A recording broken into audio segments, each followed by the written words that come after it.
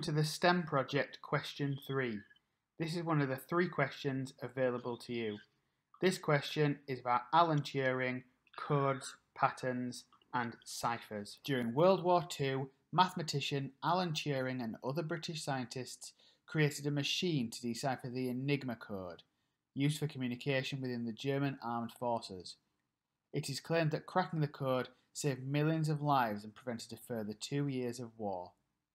Create your own code, ensuring that there is a familiar pattern, rule, or sequence, and write a series of messages using your code for others to decipher.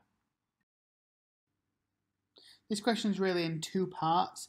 The first part is about the very famous British scientist Alan Turing and what he did during the war um, to save millions of lives and the history around that. And the second part of it is using your research, using the knowledge that you're going to gain during this project to make your own code or codes using patterns, rules, sequences, all of which you'll find out more about over the next few slides and making yourself some messages uh, for others to try and then decipher.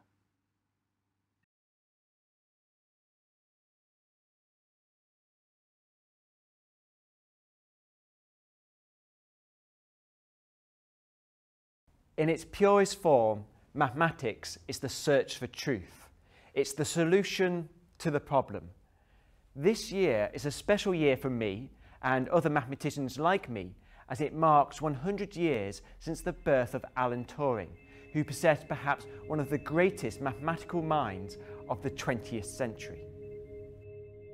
Turing was a mathematician, cryptographer, and pioneer of computer science, whose life was one of secret triumphs shadowed by public tragedy. Perhaps known today for his part in breaking the German Enigma code during World War II, Turing was by that time already established as a mathematician of extraordinary capability. Born on the 23rd of June 1912, Turing spent his childhood split between Hastings in Kent and Sherborne in Dorset displaying a precocious talent at school for maths and science, including condensing Einstein's theory of relativity for his mum at the age of 15. Turing's abilities led him to receiving a scholarship at King's College, Cambridge. He arrived here to study as an undergraduate in 1931. Like many great minds, Turing was never happier than when he had a problem to solve, and in keeping with the exceptional skill and ambition he had already displayed, he turned his attentions to the decision problem, or Entscheidungsproblem in German. Laid out by the legendary German mathematician David Hilbert at the turn of the century, the problem was one of the most important unsolved mathematical challenges for the 20th century. It was here in the spring of 1935, by the flow of the River Cam at Grantchester Meadows in Cambridge, that Turing decided to take on the giants of mathematics at the time. Turing conceived of a hypothetical machine that reads symbols on a strip of tape, rewriting or deleting them based on a finite set of rules. In fact, originally, Turing described a person slavishly performing these operations. He called this person the computer. Given a problem to compute, this machine would either stop and give you the answer, or run forever if the answer doesn't exist. Turing mathematically proved that you can never know if and when the machine will stop. He did this by creating the definitive example of the undecidable problem, an astounding feat that disproved Hilbert's question of decidability, showing that dark areas in mathematics will always remain a barrier to complete truth. The imagined Turing machine model went on to become one of the cornerstones of computer science and is arguably one of the most influential mathematical abstractions of the 20th century. And Turing was only 22. Returning to Cambridge following time at Princeton, Turing began working for the Government Code and Cipher School, the UK's codebreakers. For many years before the Second World War, the German military had been using a cipher machine called Enigma to encrypt their secret messages. About the size of a typewriter, an Enigma machine has a second set of letters that light up, called the lamp board. If you press a letter on the keyboard, the machine generates a different letter to represent it on the lamp board, creating the code. The standard Enigma machine had over 150 million million million possible daily settings. Inside an Enigma are three rotors, which turn after pressing a key, making the wires of the circuit rotate, thus changing the circuit completely. So pressing the same letter will generate a different result. Double letters, for example, may not become double letters in the code. Enigma posed a formidable challenge for the Allied codebreakers. Codebreaking is a battle of mathematical wits and cunning, and during wartime, the stakes are high. Turing relished such challenges. A day after the UK declared war with Germany, he reported to Bletchley Park for work on breaking the German Enigma cipher. Turing's contribution to the codebreakers was quite simply vital to the war effort. Not only did he make the first breakthroughs with the naval Enigma code, allowing Britain's food and supplies to be shipped across the Atlantic, but along with Gordon Welchman, he designed a machine to smash the German Enigma code, called the Bombe, named for an earlier Polish code-breaking machine. By using the fact that the German codes often contained a common phrase, such as those found in weather reports, the codebreakers would try and guess a short phrase or crib that might appear in an Enigma message. They would input this guess into the Bombe, designed to perform a sweep of the myriad ways in which an Enigma machine could have been set up. By using the principle of contradiction, combined with extraordinary mathematical insight, the codes were eroded and eventually cracked. On a good day, the Bombe machine could find an Enigma setting in 15 minutes. In 1945, Turing received an OBE for services to the Foreign Office, though the real reason for this honour remained top secret for another 30 years, long past Turing's death. Today, historians believe that the work of the codebreakers shortened the war by two years, and in doing so, saved countless lives. Following the war, Turing went on to work at the University of Manchester and continued to make hugely significant contributions to computing and later biology until his death in 1954. He is credited with laying the foundations for computer technology and artificial intelligence and worked on the first recognisable modern computers. In September 2009, 55 years after his death, the British government made a public apology to Alan Turing. Turing was gay at a time when it was illegal to be gay. On discovering the truth about his sexuality, the authorities forced Turing to endure horrific hormone treatment. He was labelled as a security risk and he lost his job as a codebreaker. In the end, Turing committed suicide by biting from an apple laced with cyanide, a desperately sad end to the life of a genius. Today, we live in a world dominated by computer technology. From cars to smartphones, desktops to rockets, life in the 21st century is almost unimaginable without computers. They facilitate our existence. For Alan Turing, hero of Bletchley Park and father of computer science, this was never the aim, or even the point. He cared about filling the gaps in our knowledge about finding the light, the truth, the solution to the problems.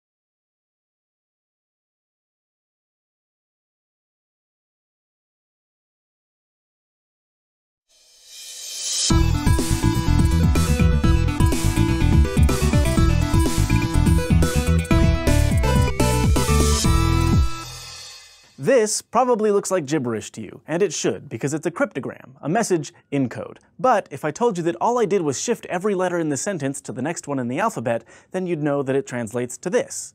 To encrypt a message, you need two main parts, the cipher and the key. The cipher is the set of rules that you're using to encode the information, for example, shifting the alphabet by a certain number of letters. The key tells you how to arrange those rules, otherwise they'd be the same every time and it would be easy to decode the message. In this case, the key would be 1, because we shifted the alphabet by one letter. To decrypt the information, you need to know what kind of cipher was used and also have the key. Or you can just crack the code, either by trying all possible combinations you can think of, or by analyzing the code and working backward from it, known as deciphering. But is it possible to come up with a combination of a cipher and key that could never be determined? Is there such a thing as an unbreakable code? Well, people keep coming up with new and better ciphers, but it's hard to make them unbreakable. Because no matter what, you're using a set of rules to encrypt the information, and with enough time and enough data, someone can usually uncover those rules. That puzzle I just gave you is one of the oldest and simplest ways to encrypt a message. It's usually called a Caesar cipher, and in this case, the key was just a number representing how many letters of the alphabet I shifted it. But it's also very easy to crack. Even if you didn't know the key, it would take you at most 25 tries to decode the message, because you know that the whole alphabet has to be shifted by a certain amount.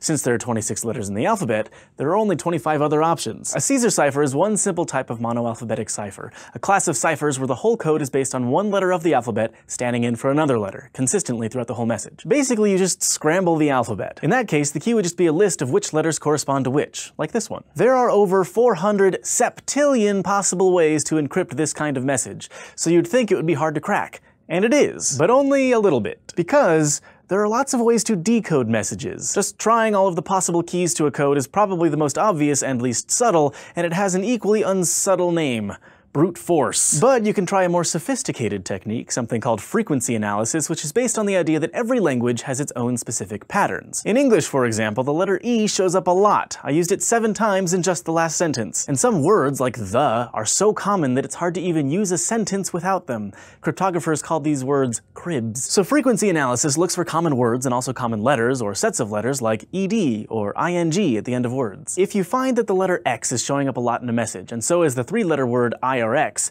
you might guess that in the key, X corresponds to the letter E, and IRX spells the. And once you've figured out those letters, you can figure out the rest by recognizing other words and using the process of elimination. And, since longer cryptograms contain more clues, they're easier to crack. So monoalphabetic ciphers are fun, but they're not hard to break. If you want to get a little fancier with your encryption, you can use polyalphabetic ciphers instead. They're much more effective. In a polyalphabetic cipher, the way you scramble the alphabet actually changes throughout the message. In the first word, S might translate to W, but in the last word, S might translate to H. It all depends on the particular encryption method you're using, and on your key. One of the earliest polyalphabetic ciphers was the Vigenère cipher. Developed in the 16th century, it was pretty simple because the key was just a word. So let's say you want to encrypt SciShow is the greatest, using a Vigenère cipher? Well, the first thing you need to do is write out a Vigenère square. The alphabet goes across the top and along the left side, and each row contains the letters A to Z shifted over by one. So the first line starts with A and ends with Z, but the second starts with B, goes all through the letters until Z, and then ends with A, and so on. You end up with 26 differently scrambled alphabets, and now you're ready to encode the message. You just have to pick a key. Let's just say your key is Michael. You write out your key multiple times until it fills the same number of letters as your message. So SciShow is the greatest would correspond to this. Then to encrypt it, you take each letter of the message and move along its row in the Vigenère square until you get to the column of the corresponding letter in Michael. So SciShow is the greatest turns into this. That's much tougher to decode unless you have the key because those letter frequencies are all different now. Since the keyword Michael is seven letters long, each letter of your message is encrypted using seven different scrambled alphabets. But if your text is long enough, it's still crackable using a type of frequency analysis developed in the 19th century by cryptographer Charles Babbage. Babbage realized that in a long enough message, some patterns in the coded message will still show up. Like if your key only has seven letters, that means that there are only seven ways to encrypt the word the. But if your message uses the word the eight times, there are definitely going to be repeats. So he just counted how many letters separated those repeated patterns. If they were separated by 7, 14, or 21 letters, he knew that the key was probably 7 letters long. And from there, he would just use frequency analysis to figure out the 7 scrambled alphabets. Babbage's method is just one example of why it's so hard to create an unbreakable cipher. Your key creates a pattern within the encrypted message, and with enough work, a spy can uncover that pattern. It turns out that the only way to have a really unbreakable cipher is to use what's known as a one-time pad encryption, which uses a key that is as long as the message itself. That way, there aren't any patterns in the encrypted text. There's nothing to analyze, so there's no way to work backwards. The sender and the recipient both have the same pad, and each sheet contains a long set of random letters, which is used as the key. Once a sheet is used to decode a message, you destroy it. Then you use the next sheet for the next message, so you never repeat a key. As long as you keep the pad safe, the message can't be decrypted by anyone else. But you can't always use one-time pad encryption.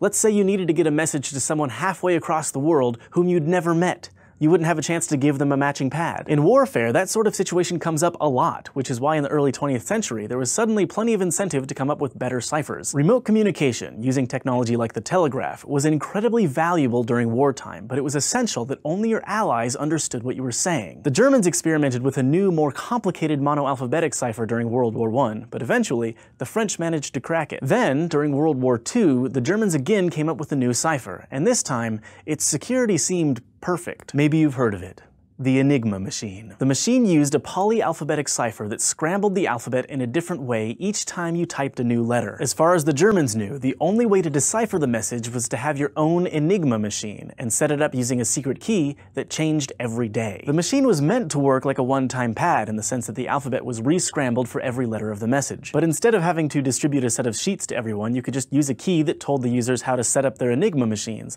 and you could change that key as often as you wanted. But it had a few flaws. For example, example, no letter could be encoded as itself. That might not sound like a big deal, but it ended up being a fatal weakness. British mathematician Alan Turing, along with the rest of his team, designed a machine of their own that could crack the Enigma code, as long as they knew around 20 of the characters contained in the message. Which they often did, because some phrases tended to show up a lot in Nazi communiques, especially nice things about Hitler. So part of the strategy of Turing's team was to look for cribs, those common words and phrases, and see where they might fit. For instance, if they knew a message contained the word Führer, they could look for places in the text that didn't have the letter F, since they knew that the F in Führer couldn't be encoded as itself. Those clues helped them figure out how the Enigma rotors were set up to encrypt the message. Cracking the Enigma code was a huge advantage for the Allies. Many historians attribute some of the most important victories during the war to information the Allies got from the Enigma encrypted messages. These days, encryption is mostly important in digital computing. And that isn't perfect either. When websites announce that hackers now know everything about you,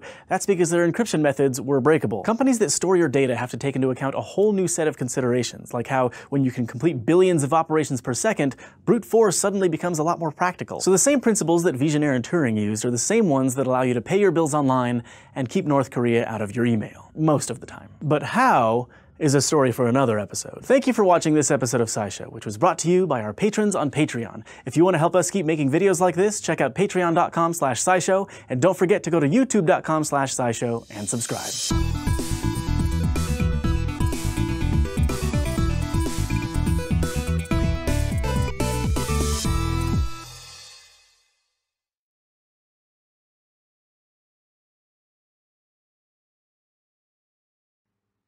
There are several different kinds of cipher and different ways to encode messages to make them unreadable. The first is a simple substitution cipher um, where you uh, change the letters to another letter and you move them along in the alphabet by a certain amount. Um, the second is where if you have a message that is a square number of letters, like 25 or 16, you can arrange that into a grid a square grid and then write it out the opposite way. Uh, so you get gibberish, but that can be uh, decoded back into its original message. And then there's uh, ciphers that use um, polyalphabets, so more than one alphabet, to encode, and these start to get more and more complicated and more towards the um, German Enigma machine, which was very, very difficult to um, decode, which you've already learned about in some of these videos. These are some of the types of codes, the types of ciphers you can use when you do create your own codes for others to try and decipher.